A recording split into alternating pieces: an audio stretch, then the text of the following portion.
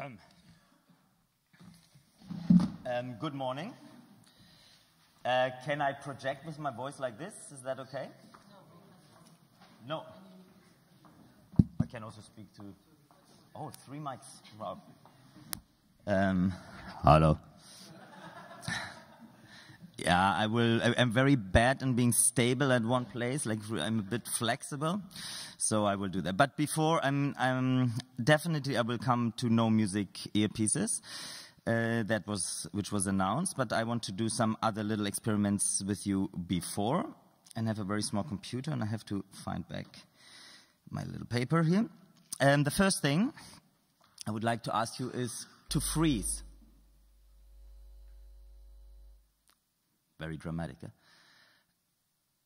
Relax. Freeze.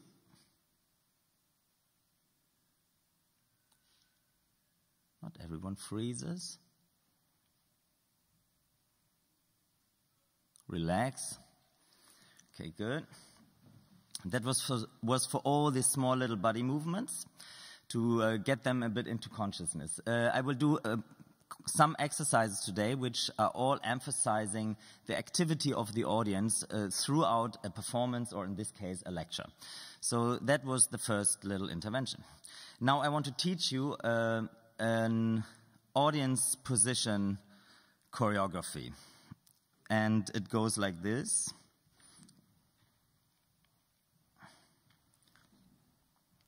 Yeah, it doesn't wait. Um,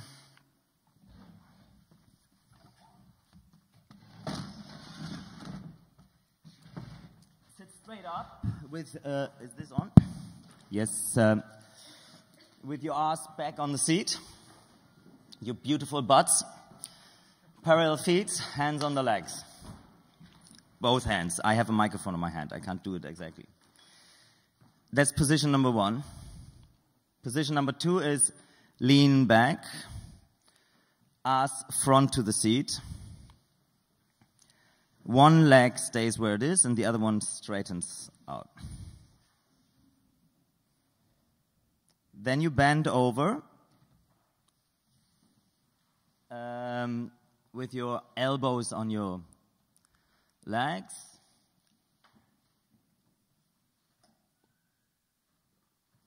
Then you correct yourself into the middle of the chair with one leg across the other, doesn't matter which one. Weight on one hand. And what was the other one doing? Uh, uh, the other one is touching your face in whatever way. I told you it's difficult with the microphone. I can't see if the ones in the backs are doing it, but I hope so. Okay, we go back to position number one, straight, parallel legs, hands on the, like the good student. Some, some of you might remember not having been that person. Lean back, this is the favorite part. Slowly, ass to the front of the seat, straight leg. Ah, arms crossed, that was in this one as well. Yeah, the, the, the arrogant audience. oh, and then uh, no, sorry. This one. Concentrated or like just trying to not fall asleep. I'm not really sure which. And then correcting yourself. A bit quicker.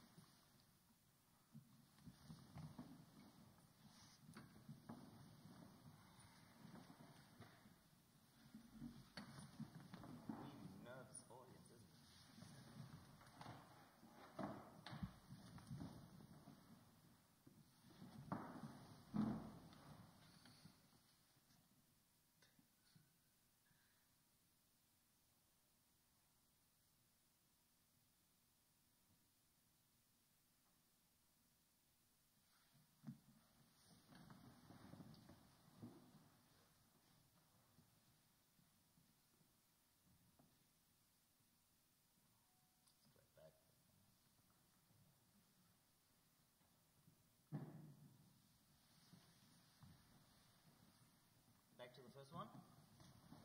Really slowly into the second position. Really on your own tempo. Don't imitate myself. Imitate me.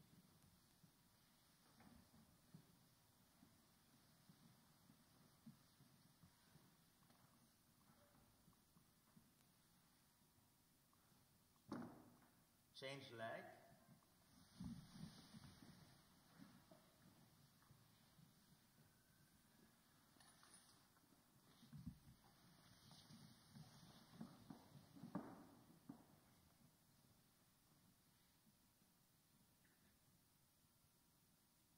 One last time.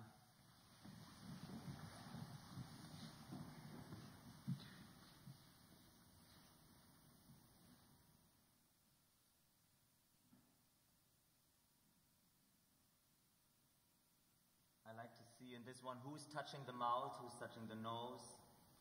Some people touching other parts.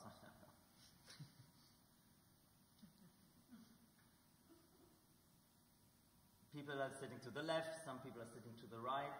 This might have to do with your neighbor, because some people try to get away from the neighbors, others trying to get into the neighbor somehow. so that's very nice. That's what it already. I don't have much to say about these exercises. Still, I'm doing them. I will say something later. Um, a little questionnaire with my microphone again. Um, who's cold? How many people? Cold? You're a little bit chilly. Who's warm? Oh, yeah. Who is already hungry? Or still, actually? Who has to pee? One, two percent. Who has to t- pee a l- tiny little bit? Like, like, so you could go, but you don't? That's quite a lot, actually. It's nice. Um, I mean, it's nice. Why is that nice, huh? Makes no sense. Um, super nice. Um, so my little perversion. Um, who gets uh, restless legs in shows sometimes? Like who's like this? Um, you know what I mean? One, two, three and a half, two, four, let's say 15. It's quite a lot for an audience of how many people are we? Maybe 45. I'm not so good in that. Um, who is a tall sitter? Who sits? Who is like taller when sitting than when standing? I mean, relational wise, this is hard to say. Some people know that. Anyone knows that? Okay. Um, maybe could you both get up? Just stand up. Yeah, you two. Ah, yeah. Okay, good. Three people getting up. Okay, tallest, second tallest. Sit down, please. Ah, yeah, you're almost the same size when you're sitting down, but you're not the same size when you're standing. Okay. You don't have this. I'm, I, I, I feel it strongly when I'm sitting and I'm a small sitter. So when I sit down in restaurants, I always try to get the higher chair if there are different chairs. Anyways. Um, who likes to eat before a show? Like who likes to be full when to get in a show? I mean full. Having eaten, okay? yeah, that's uh, okay. And who likes to be actually who likes to eat after the show? So you better go hungry into a show. More people, okay, interesting. Who feels very conscious about their armpits when lifting their hands? Yeah, three people. I'm one of them. Four makes us four. Um, two more so this this is actually my um, anti or non-sociological uh, questionnaire. I did this once together with a sociolog, sociolog, sociologist. I'm not even sure, who was asking questions like, "Who came by car?" Uh, today, actually, a lot. Who came by car? Who earns more than 15,000 euros a year? I don't want to know. But, but, that would be a question somebody else. But I want to ask more questions about your physical and your mental stage when sitting in shows. Um, uh, who, uh, that, sorry, that was written for another place, so that doesn't make sense. Who feels the presence of the restaurant behind, restaurant behind you very strongly? Doesn't make sense here, no? Who can't forget yesterday? Who is still very present with? Who can't forget yesterday? That's really 25 people. This was a strong day yesterday. Um, who thought already throughout my little lecture, a part of the lecture, at least three times about my very strong French accent? I don't have a French accent. but who, who is very conscious about my accent when I'm speaking? Oh, yeah. Okay. Um, who would now be ready for a four hours opera performance, sitting as an audience member, of course, not as a singer? You would be ready, physically ready, in state of you could go in there now? So, and all the others, they couldn't? Is that true? Who is not really not ready for four hours opera experience now? Okay, thank you.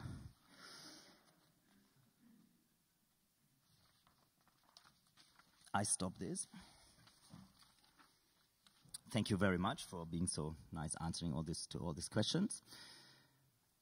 Um, remember the last word you have said, or one of the last words, if you can't remember exactly, you have said before shutting up. Some of you have just talked, but yeah. I count to five. Why five? I count to five, and then you say it. Yeah, you can mumble it if you don't want to speak out loud. One, two, three, four, five. Somebody said six. you, you said six. Okay, once again. One, two, three, four, five. Nice. Um, remember the soundscape in this place before we started this lecture. Between the two lectures, then it makes sense. Before I started talking. Remember all sitting down before I came up here. Remember the 50 minutes before you came into the school, before you entered this building remember them backwards. I count silently to 15, and every count is one minute. And you try to walk backwards the way you came here until the train station, the car, the hotel, wherever you come from. I start counting now. One,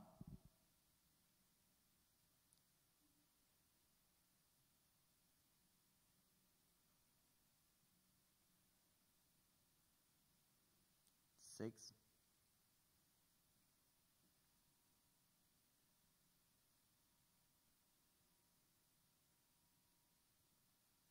Eleven.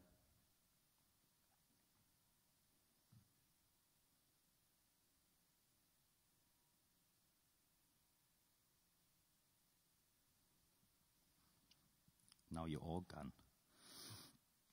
Imagine this talk is over no applause yet, just before the applause, you hear a plane from here to there over this building. Imagine you can hear planes. There are no windows. Imagine. I stop talking. Plane.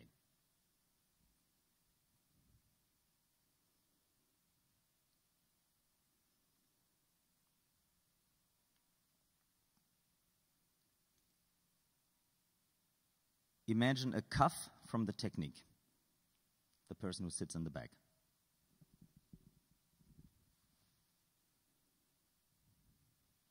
Imagine the clapping.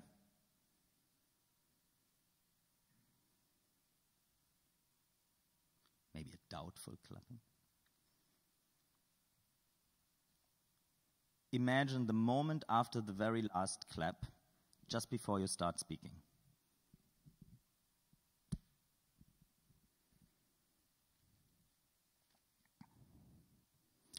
Imagine the coffee break. Imagine getting up from your chair. Imagine how your bones feel when you get up after 45 minutes. You stretch. The talking gets louder. Slowly, people start talking. Try to imagine that situation.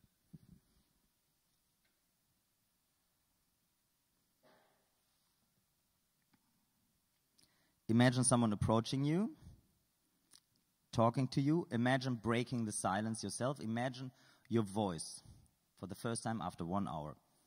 How do you hear your voice?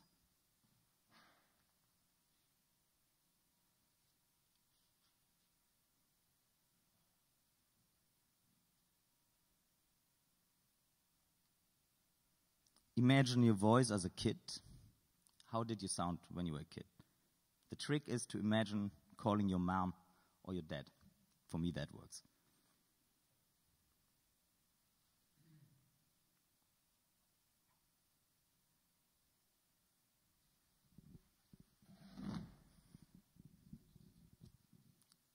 Imagine, does this also work? Imagine the light fading out. Imagine some ambient music fading in while I'm sitting here. You look at me, suddenly music comes up. Maybe horror music, violence, very quick. Imagine a camera zoom onto my face with some horror mu- music at the same time.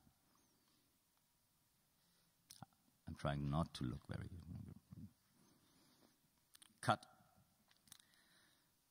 Imagine a camera pan over the audience, over you. Imagine the different faces. Don't look around, just imagine that.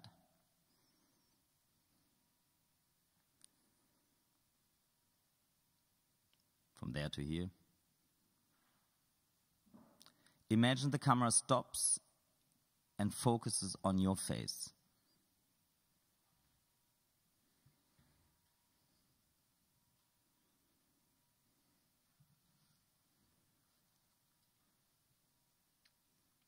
Okay.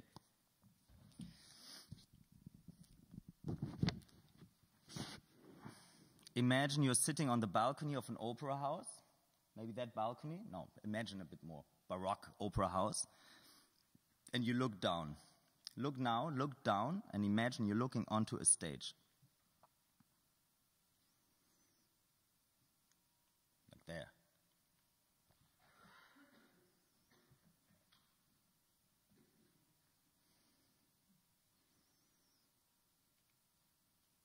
Imagine sitting in a cinema in the first row and you look up, very up, but uncomfortably up. Imagine how you slowly forget that you are actually sitting in an uncomfortable position.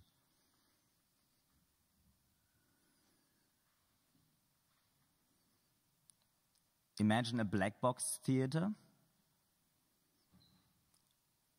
Lots of cool dancers, colorful t shirts. Imagine a wide gallery space. Everyone has a glass in their hand. Awful beer. Imagine another theater.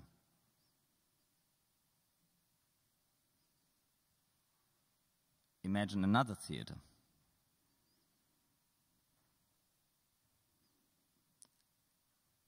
And a third theater.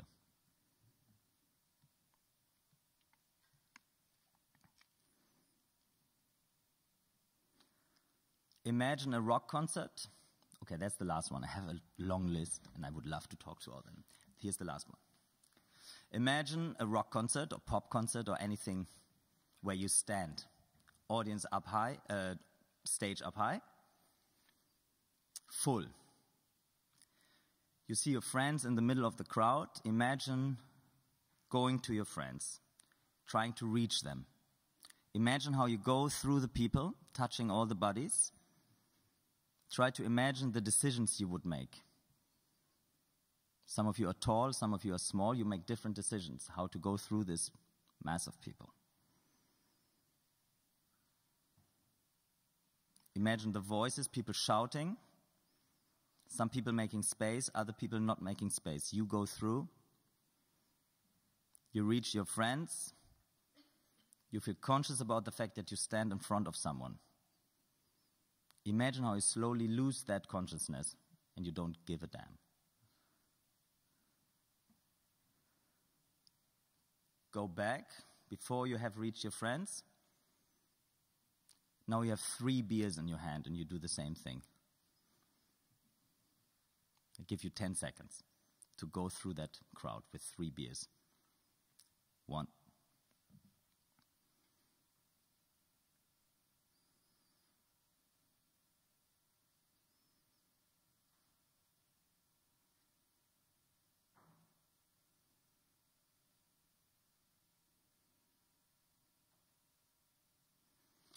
Okay. Thank you.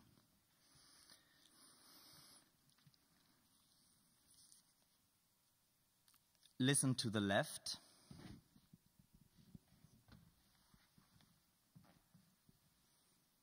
Listen to the right.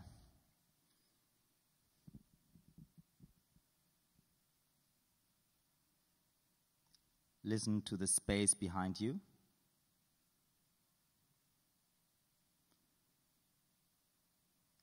Listen to the space above your head.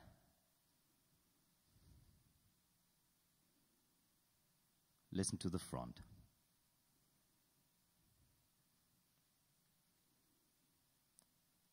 Listen again to the left.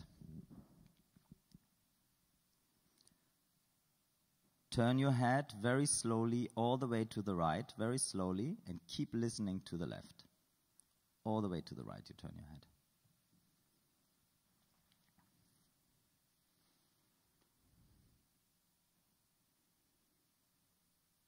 Stay there.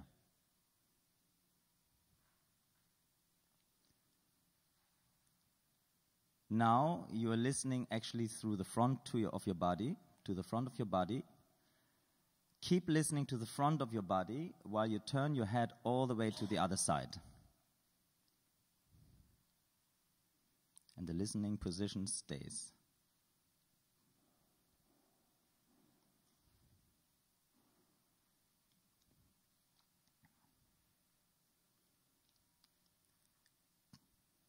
When you reach the other side, stay there.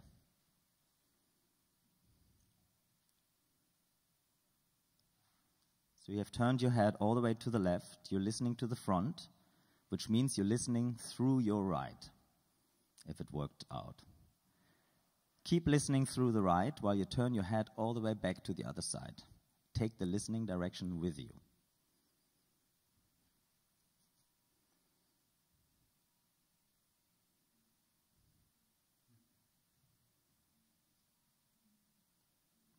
Don't be bothered by the telephone, doesn't matter. You're now, have everything worked out, more or less, listening to the back of yourself through, the, I'm confused with sides, wait, through the right. Keep listening to the back of you while you turn your head back to the front, to me.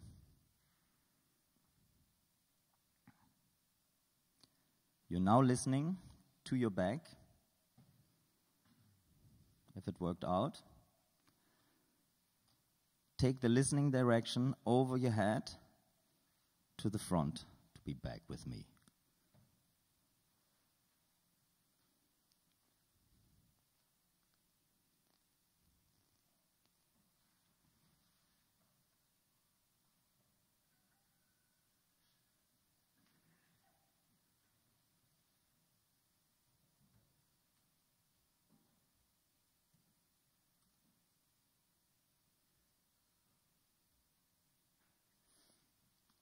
I don't know when you're finished actually with this one.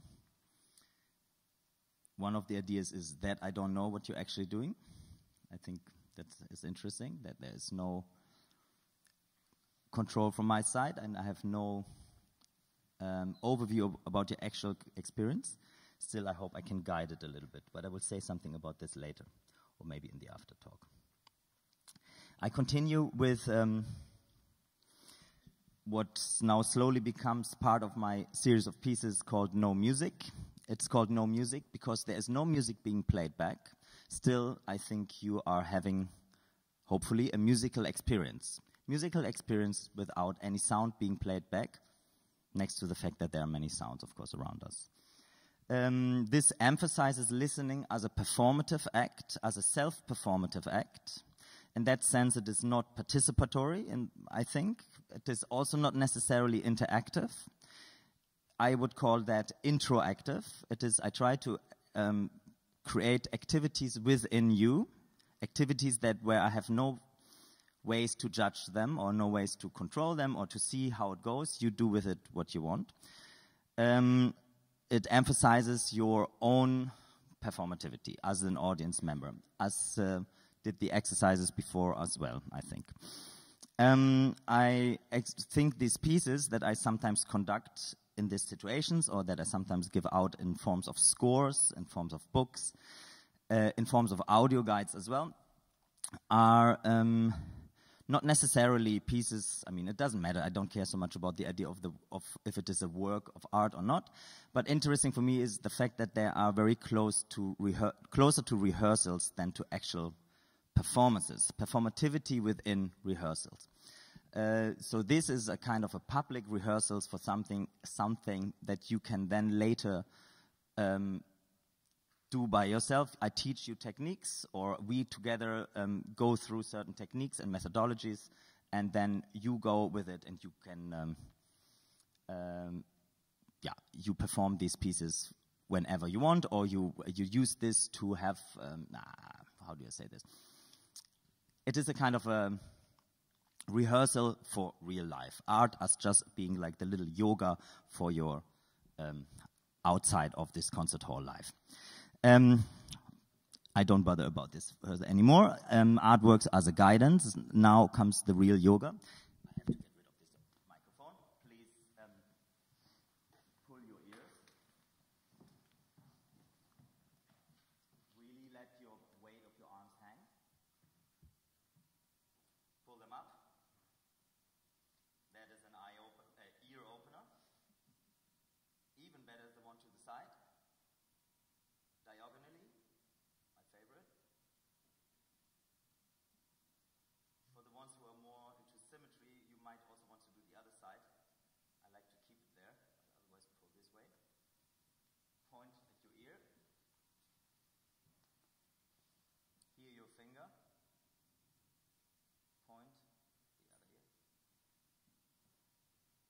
Sure that you're really just in front of your ear, maybe try it out. Leave the first one.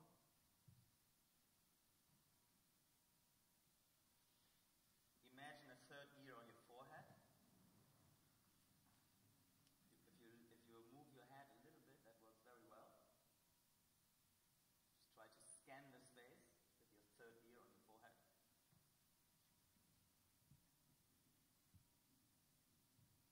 Look at your left ear.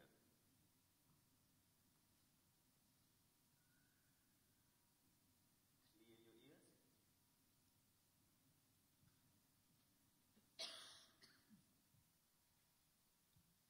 Follow me with your two hands.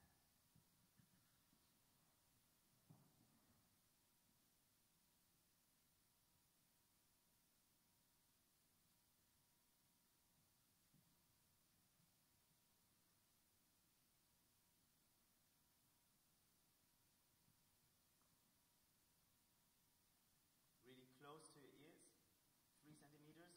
This part of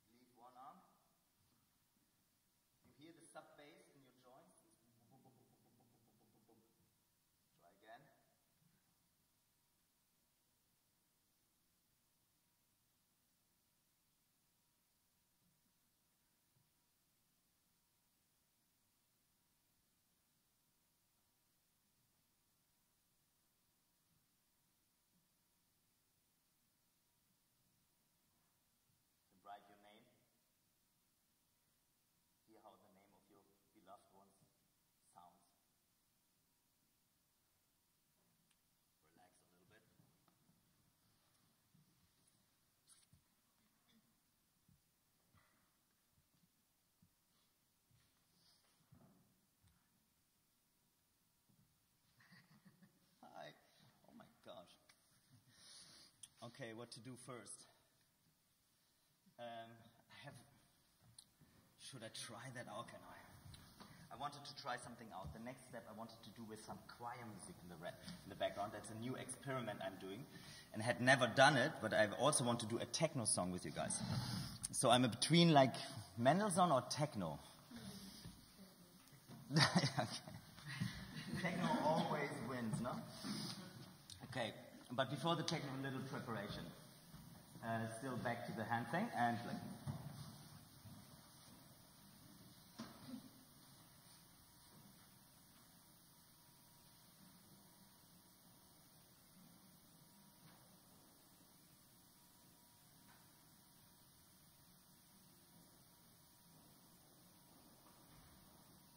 straight behind and in front of your ears. Both to the back. This is nice if you mumble a little bit or say something. Da, da, da. Everything's fine. You have an out of body experience now. This is how it will be just before you're dead.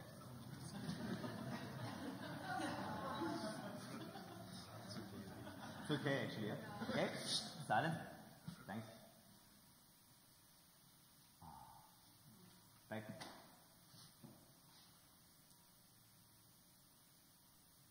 Hello.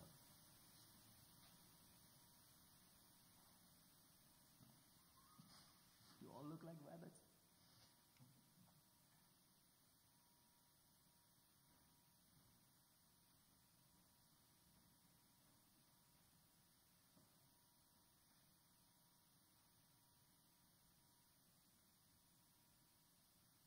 And slowly close it. Again.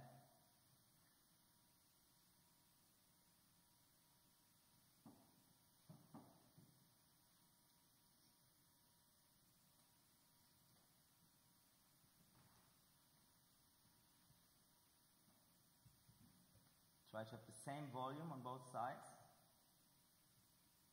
Some of you are half deaf, I see. Maybe the hum also influences. Try to slowly go away. Don't try, do it.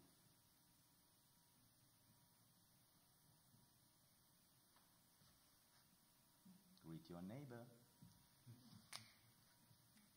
Okay, a little relaxation. And before I do the techno, just to relax your arms, I take the to time to say, like I had like three statements I wanted to make. I wanted to also have a little bit of theory. Um, I believe an audience is always active. Every audience is active, number one. They're also, you're also, an audience is also physically active. Bodies are part of the experience of the artwork. The chairs are part of the experience of the artwork. Sitting as is standing is moving, so you cannot sit still. Even though it, you think you're sitting still or you stand still, you always move. Your body always moves. I think um, that these movements are always in relation, uh, somehow in relationship to the works of art you see or you hear. I think that the bodies of the audience follow the performance, rewrite the performance maybe, uh, reenact the performance live. They can also, I think, as a last step in this logic, influence the work of art. If you would, I mean, clearly, if you would all get up and leave, it would have an influence of a performer. That is a very clear, extreme example. But I think it is even in the micro dramaturgy of the audience that the, at least live art is somehow influenced. Um, I think audience is therefore is not only self-performative but also performative. Performativity for me, I understand as an act that changes reality in the moment that it is happening. So there is an, the activity of the audience is the way to change the reality of the performative situation. Um, I think the audience does this individually and it also does it collectively. There's a lot to say about this, but just I leave it here.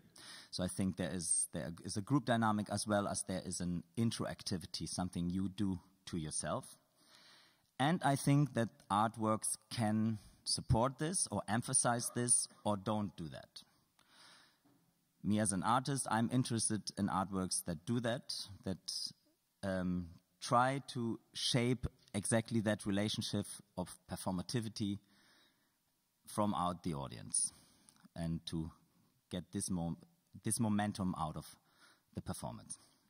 That was my little manifesto. Here comes the techno.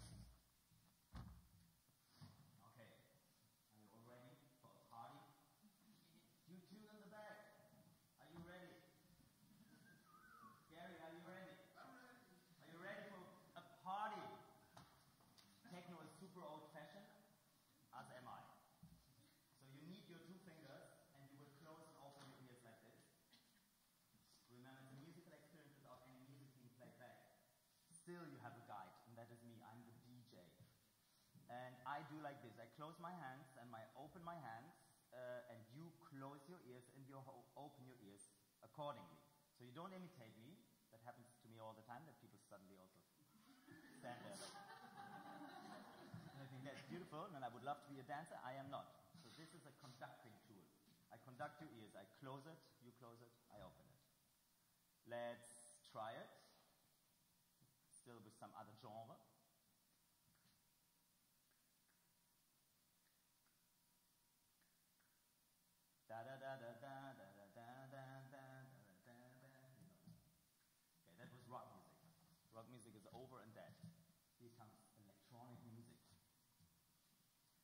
You have to be close to your ears, right? A little intro.